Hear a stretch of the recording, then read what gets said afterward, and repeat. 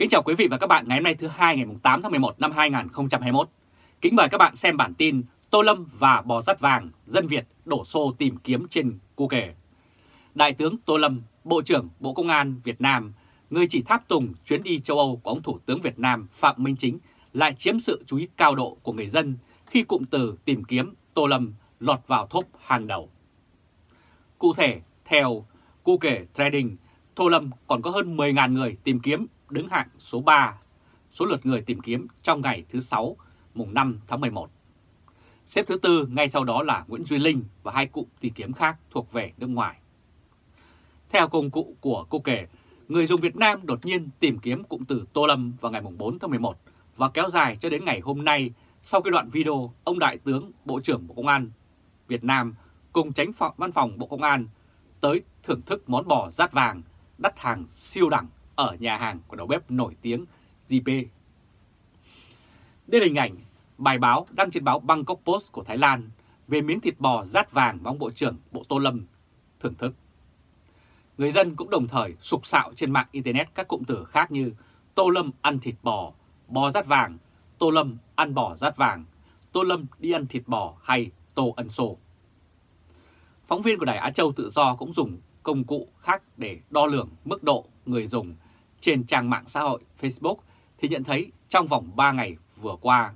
đã có hơn 400 bài đăng liên quan đến chủ đề này, bao gồm hình ảnh, video và dòng trạng thái khác nhau. Cũng có gần 200.000 lượt thích bày tỏ thái độ, chia sẻ, bình luận trên các bài đăng, bao gồm cả những trang Facebook ủng hộ chính phủ. Và các hashtag trên Facebook khi người dùng nhấn chuột vào cũng không xem được các bài viết có cùng chủ đề. Lý do mà mạng xã hội này đưa ra là các bài đăng với hashtag GB tạm thời bị ẩn. Một số nội dung trong các bài đăng đó đi ngược lại tiêu chuẩn cộng đồng của chúng tôi, thông tin được cho biết. Đặc biệt trên trang từ điển bách khoa toàn thư trên mạng mà người dùng hay quản trị viên có thể thay đổi nội dung thì tiểu sử của Đại tướng Tô Lâm có thêm dòng chữ vụ ăn tại nhà hàng ZB. Trang này mô tả như sau. Vào đầu tháng 11 năm 2021, một đoạn video được đăng tải trên tài khoản TikTok của nhà bếp nổi tiếng Cooker còn được người biết với biệt danh là Zatbeer. Đoạn clip này sau đó đã bị gỡ bỏ cho thấy ông Tô Lâm đang ăn uống tại nhà hàng đắt đỏ của Zippe tại London, được cho là chuyến công du tại Hội nghị Thượng đỉnh về biến đổi khí hậu của Liên Hợp Quốc vào năm 2021. Trong clip, ông còn được đầu bếp tận tay đút một miếng thịt bò rát vàng vào miệng. Theo các nguồn tin quốc tế, sự kiện này đã gây phẫn nộ trong nhiều người Việt Nam trên mạng xã hội và toàn thế giới. Nhiều người cho rằng đây là việc làm xa xỉ với giá món thịt bò rát vàng còn cao hơn cả một tháng lương của một vị bộ trưởng này. Trong bối cảnh Việt Nam đang chịu thiệt hại nặng nề do đại dịch Covid-19 gây ra với vô số người đang bị mất công ăn việc làm. Và Việt Nam đang phải ngửa ti tay đi xin từng liều vaccine mang về. Đây là hình ảnh Việt Nam đã có rất nhiều những hình ảnh về những bữa cơm nhìn không thấy thức ăn, chỉ thấy cơm trắng của trẻ em miền núi phía Bắc và tình cảnh này vẫn đang diễn ra khắp nơi ở Việt Nam. Câu chuyện Bộ trưởng Bộ Công an Việt Nam Tô Lâm ăn tối tại nhà hàng cực đắt ở London và được đích thân chủ nhân hệ thống nhà hàng này là Cooker, tức là Zabes phục vụ miếng thịt bò rát vàng đã làm cộng đồng Việt Nam bàn tán xôn xao trong vài ngày qua. Không những vậy, một số cơ quan truyền thông quốc tế cũng đã đưa tin về vụ này. Nó cho thấy bữa ăn tối xa xỉ của một cấp lãnh đạo trong Bộ Chính trị Việt Nam được chú ý khá nhiều bởi vì liên quan đến những nhân vật đang làm việc trong hệ thống công quyền. Nói về quan chức phẻ phỡn khi người dân vật vã mưu sinh, tác giả Thiện Văn trên báo Việt Nam Net viết rằng Mỗi người giữ một vị trí lãnh đạo và quản lý dù to hay nhỏ nhưng đều là đối tượng quan trên nhắm xuống người ta trông vào. Do vậy, mọi cử chỉ, việc làm, hành vi của họ khó lọt qua được hàng triệu tai mắt của nhân dân ở khắp nơi mọi chốn.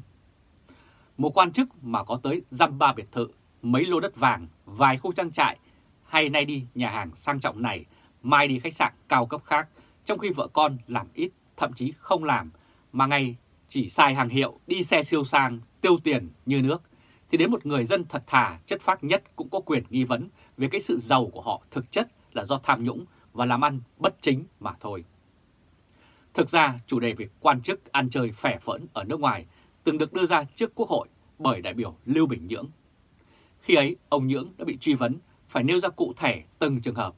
thì nay hình ảnh ông Tô Lâm đấp miếng thịt bò rát vàng nghìn đô là một minh chứng rất rõ cho điều này. Đây là hình ảnh đại biểu Lưu Bình Nhưỡng, Phó ban Dân nguyện của Quốc hội Việt Nam khi đó. Còn nhớ tại phiên thảo luận kinh tế xã hội tại Hội trường Quốc hội chiều ngày 30 tháng 5, đại biểu Lưu Bình Nhưỡng lý giải vì sao cử tri không còn niềm tin vào các vị đang được gán mắc cán bộ công chức. Trước nghị trường, ông Nhưỡng nói rằng cán bộ công chức, nhất là lãnh đạo cao cấp mà không khiêm tốn, thiếu gương mẫu, sống như thái tử, hoàng tử, như là chúa tể rừng xanh, thái độ như tuần phủ, tri phủ, tránh tổng, vân vân. Có người còn lợi dụng chức vụ, quyền hạn, vun vén đủ thứ, từ học hàm, học vị, bằng cấp, sắp xếp bộ máy, toàn cánh hậu, đệ tử, sống xa hoa, thậm chí cờ bạc, thâu đêm, đi nước ngoài ăn chơi bằng tiền ngân sách, thì thử hỏi sao cử tri và nhân dân có thể yêu mến, kính trọng và ủng hộ cho được.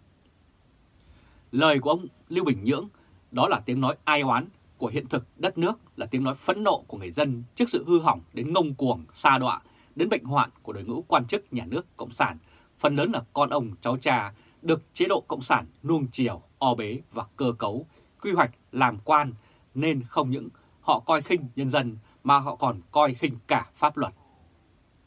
Ông Trần Tuấn Anh nếu không phải là con ông cựu Chủ tịch nước Trần Đức Lương được quy hoạch đặt lên ghế Bộ trưởng Bộ Công Thương thì ông không dám và không thể ngông nghênh đến như thế.